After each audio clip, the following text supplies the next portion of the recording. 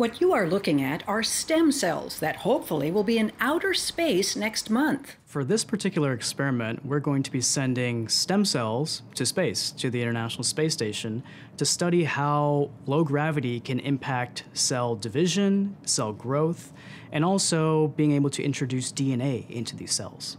Dr. Arun Sharma and a team of researchers at Cedars-Sinai, led by Dr. Clive Svendsen, have been studying stem cells and testing the hypothesis that low gravity will help the cells grow faster. The gravity pulls these cells in a certain direction. It turns out in zero gravity, that effect is no longer there. The, the stress is not there of pulling on the cells the whole time. And under those conditions, we think they're going to grow better, uh, they may grow faster, and when we try and turn them into the critical cells we need for healthcare, they may do it better.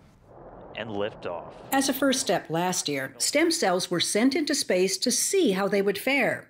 This experiment is the first time induced pluripotent stem cells will be produced in space by astronauts.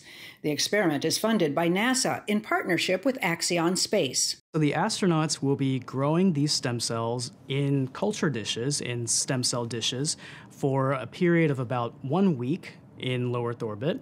They will be changing the cell nutrients on a daily basis. They'll be examining how well the cells actually grow and divide in low Earth orbit in space. And they'll also be introducing DNA into these cells to see how well the cells can actually take up new DNA.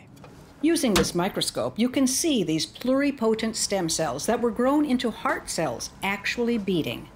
A pluripotent stem cell can be turned into nearly any cell type found in the body. This is important because for clinical therapies, we want a large number of cells, whether it's heart cells, liver cells, brain cells, uh, for treating different types of diseases. And if we can grow more of these cells in a better way, whether it's in low gravity or whether it's here on the earth, it is an advantageous thing for clinical trials and clinical therapies.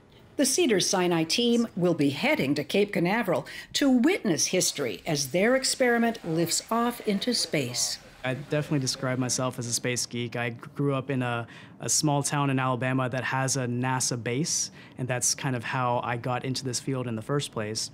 I was able to intersect my two passions in biology and space in this project. It's really a dream come true.